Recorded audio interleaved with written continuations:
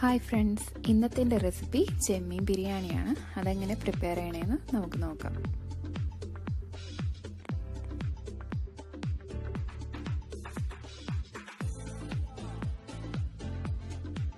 അതിന് വേണ്ടിയിട്ട് first step എന്താണെന്ന് വെച്ച് കഴിഞ്ഞാൽ നമ്മൾ ദമ്മിടുന്ന ടൈമിൽ ആവശ്യമായിട്ടുള്ള മൊരിഞ്ഞ സവാള പ്രിപ്പയർ ചെയ്യലാണ്. അതിന് വേണ്ടിയിട്ട് ഒരു പാനിൽ എണ്ണ ഒഴിക്കുക.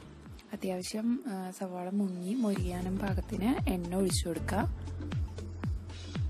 അതിനുശേഷം സവാള ഇതിലോട്ടിട്ട് ഒരു ഗോൾഡൻ ബ്രൗൺ ആവണ വരെ ഒരു ലൈറ്റ് ഗോൾഡൻ ബ്രൗൺ ആവണ വരെ ഇട്ട് മൊരി മൊരിച്ചിട്ട് അടുത്ത് മാറ്റി വയ്ക്കാം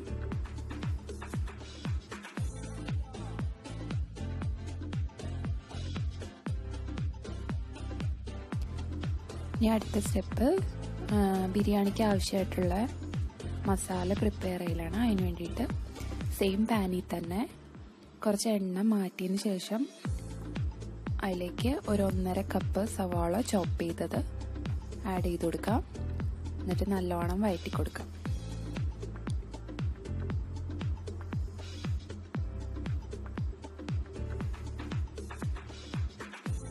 സവാള വഴറ്റി ഒരു ഒന്ന് വാടി വരുമ്പോൾ നമുക്ക് അതിലേക്ക് ഇഞ്ചി വെളുത്തുള്ളി പച്ചമുളക്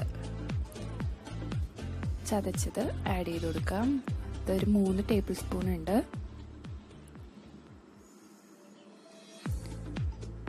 നല്ലോണം വഴറ്റി കൊടുക്കാം.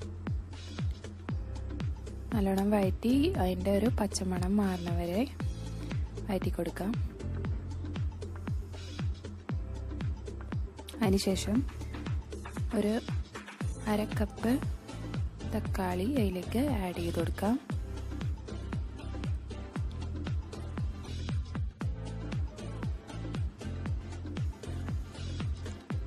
തക്കാളി ഒന്ന് വഴണ്ട് കഴിയുമ്പോഴത്തേക്ക് അതിലേക്ക് ഒരു ടേബിൾ സ്പൂൺ ഗരം മസാലയും ഒരു അര ടേബിൾ സ്പൂൺ മഞ്ഞൾപ്പൊടിയും നമുക്കിതിലേക്ക് ആഡ് ചെയ്ത് കൊടുക്കാം. അതിനുശേഷം നല്ലോണം വഴറ്റി കൊടുക്കുക.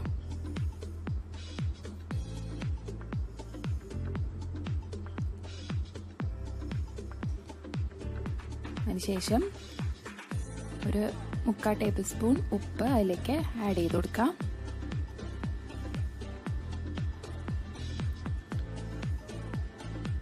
ബാക്കിയുള്ള മസാല ഇട്ട് നല്ലോണം മിക്സ് ചെയ്യാം.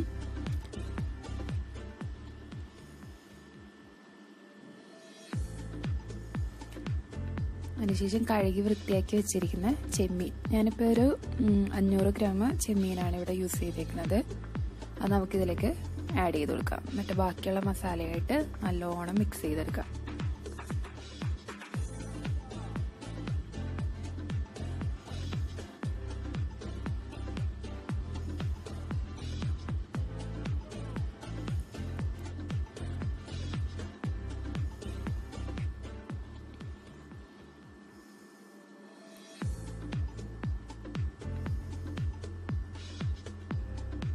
നല്ലോണം ബാക്കിയുള്ള മസാലയായിട്ട് മിക്സ് ചെയ്ത് കൊടുക്കാം.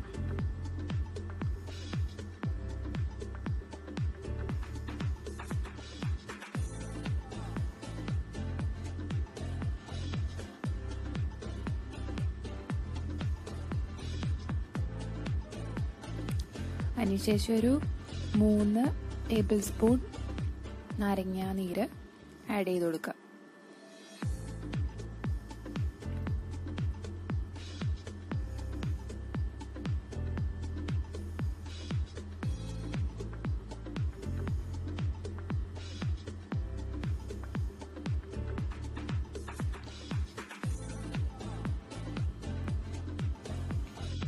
ഞാനിപ്പോൾ ഈ വീഡിയോയിൽ നാല് പേർക്ക് കഴിക്കാൻ പറ്റുന്ന ക്വാണ്ടിറ്റിയാണ് കൊടുത്തേക്കുന്നത് ഞാനിപ്പോൾ ഒരു രണ്ടര കപ്പ് അരി ഇവിടെ യൂസ് ചെയ്തിട്ടുണ്ട്. നാല് പേർക്ക് കഴിക്കാനുള്ള ഒരു ക്വാണ്ടിറ്റിയാണ് അടുത്തതായിട്ട് ഇതിലേക്ക് നമുക്ക് മല്ലി പുതിന ചോപ്പ് ചെയ്തത്. ഒരു അരക്കപ്പ് നമുക്ക് ഇതിലേക്ക് ആഡ് ചെയ്ത് കൊടുക്കാം.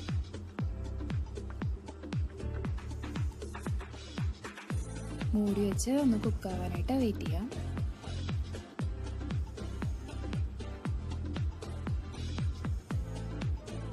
ബിരിയാണിക്ക് ആവശ്യമായിട്ടുള്ള മസാല ഇപ്പം റെഡി ആയിട്ടുണ്ട്. അടുത്തായിട്ട് ചോറ് പ്രിപ്പയർ ചെയ്യുക. അതിനുവേണ്ടി ഒരു പാത്രം വെക്കുക. അതിലേക്ക് എണ്ണ ഒഴിക്കുക. പിന്നെ ഡ്രൈ സ്പൈസസ് ഒക്കെ ഇട്ട് കൊടുക്കുക. കറുകപ്പട്ട ഗ്രാമ്പു അങ്ങനത്തെ സ്പൈസസ് ആഡ് ചെയ്തിട്ട് സവാളയും ക്യാരറ്റും കാൽ കപ്പ് വീതം നമുക്ക് അതിലോട്ട് ആഡ് ചെയ്ത് വഴറ്റാം. ഈ ഫസ്റ്റ് സ്റ്റെപ്പ് എന്റെ വീഡിയോ മിസ്സായി അതാണ് ഞാൻ ഇതിൽ ആഡ് ചെയ്യാത്തത്. ഞാൻ ഇൻഗ്രീഡിയൻസിന്റെ അളവൊക്കെ ഫസ്റ്റ് ഇൻഗ്രീഡിയൻസ് ലിസ്റ്റിൽ കൊടുത്തിട്ടുണ്ട്. അത് അതനുസരിച്ച് ആഡ് ചെയ്ത് കൊടുക്കുക. അതിനുശേഷം വെള്ളം ഒഴിച്ചു കൊടുക്കുക. പിന്നെ ഒരു ഒരു ടേബിൾ സ്പൂൺ ഉപ്പ് ആഡ് ചെയ്ത് കൊടുക്കാം. വെള്ളം കുറച്ച് അധികമായിട്ട് ഒഴിക്കണം. നമ്മൾ നെയ്ച്ചോറിനെ എടുക്കണ പോലെ വറ്റിച്ചെടുക്കലല്ല. ഞാനിതിൽ ഊറ്റിയെടുക്കലാണ് ചെയ്യണേ. വടിക്കും. ചോറ് വെന്തതിന് ശേഷം ഒരു മുക്കാൽ വേഗാകുമ്പോഴത്തേക്കും വടിച്ചെടുക്കലാണ് ചെയ്യണത്. അതിന് ശേഷം ഒരു രണ്ടര കപ്പ് അരി വെള്ളം തിളച്ചതിന് ശേഷം രണ്ടര കപ്പ് അരി നമുക്കിതിലേക്ക് ആഡ് ചെയ്ത് കൊടുക്കാം. വെള്ളം നല്ലോണം ഒഴിച്ച് നല്ലോണം വെള്ളം ഒഴിച്ചാണ് അരി വേവിച്ചെടുക്കുന്നത്. അരി ഒരു മുക്കാ വേവാകുമ്പോഴത്തേനും നമുക്കിത് വടിച്ചെടുക്കാം. ഇപ്പം അരി ഒന്ന് മുക്കാ വേവായിട്ടുണ്ട്. നമുക്കിത്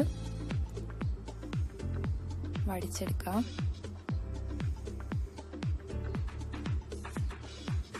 ചോറ് ഇപ്പം റെഡിയായി.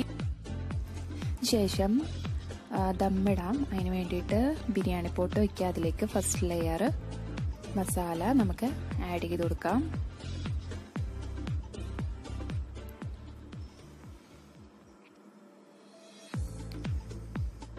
മസാല ഇട്ടതിന് ശേഷം നമുക്ക് വേവിച്ച് വെച്ച ചോറ് മുക്കാ വേവായ ചോറ് നമുക്കിതിലേക്ക് ഒരു ലെയർ പകുതി ചോറാണ് ഞാൻ ഫുള്ള് വേവിച്ച് കഴിയുമ്പോൾ പകുതി ചോറ് ഒരു ലെയർ ഞാനിതിലേക്ക് ആഡ് ചെയ്ത് കൊടുക്കുകയാണ്.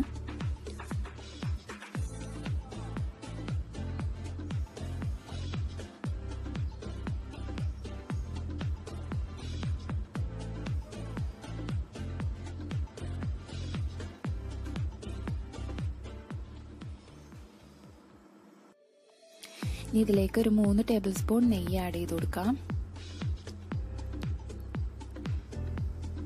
മസാലയും ചോറും പ്രിപ്പയർ ചെയ്യുന്ന ടൈമിൽ ഞാൻ നെയ്യ് യൂസ് ചെയ്തിട്ടുള്ള സൺഫ്ലവർ ഓയിലാണ് യൂസ് ചെയ്തേക്കുന്നത് ഇനി ഇതിലേക്ക് വറുത്ത് വെച്ചേക്കണേ മൊരിച്ച് വെച്ചേക്കണേ സവാള നമുക്ക് ആഡ് ചെയ്ത് കൊടുക്കാം.